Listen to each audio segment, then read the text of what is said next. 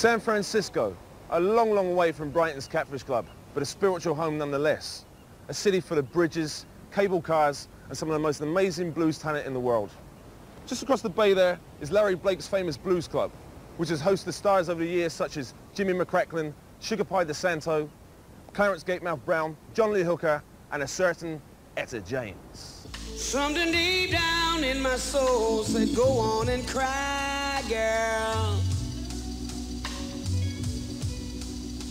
When I saw you and the same girl and you're always walking by, you got me running, you got me hiding, you got me running, hiding, hiding, running any you want it, let it roll. I'm not looking for people to go, oh my God, she's a great singer or she's, she's it's just that I'm out there, I'm, I'm having fun. I'm doing something that I don't normally get to do. I mean, I get to do it because I'm a singer, but I mean, I don't do that around the house. I'm not walking around the house singing my songs and cooking chicken and, you know, and bumping and grinding and stuff like that. You got me doing what you want me, baby, honey, what you want me to do.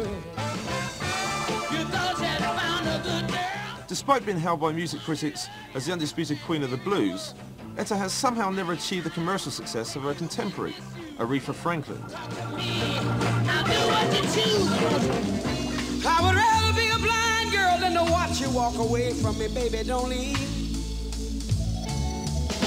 If I would draw a picture of me, I would be, did you ever see the, um, the Rolling Stones had a uh, logo back in 78 when I was on tour with them. And they had a woman that was their logo. And she was this monstrous, big monstrosity of a woman, but not fat, but just buff, you know. But she was a woman. You know what I mean? That's the kind of picture I would draw of myself.